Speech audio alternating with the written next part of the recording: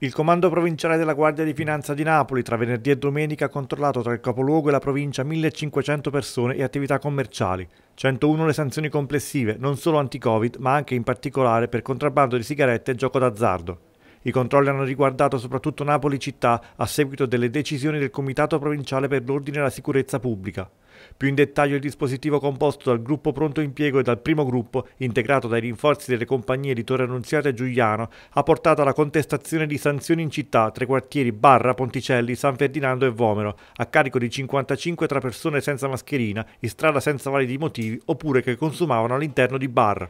Il primo gruppo ha scoperto nel quartiere Miano, presso un circolo privato, una bisca clandestina e sottoposto a sequestro sei videopoker, denunciati e sanzionati per violazione della normativa anti-Covid il gestore e i giocatori. Nelle immediate adiacenze dell'area portuale, il secondo gruppo ha sanzionato 20 persone sorprese in strada senza comprovati motivi, fuori dal proprio comune di residenza o durante il coprifuoco. Altre sanzioni anti-Covid sia a persone che ad esercizi commerciali tra Portici, San Giorgio a Cremano, Quarto, Bosco Reale, Melito, Qualiano, Marano, Torre del Greco, Grummo Nevano, Crispano, Castellammare di Stabia e presso il molo commerciale di Capri, anche grazie a segnalazioni di cittadini pervenuti alla sala operativa del comando provinciale tramite il numero di pubblica utilità 117.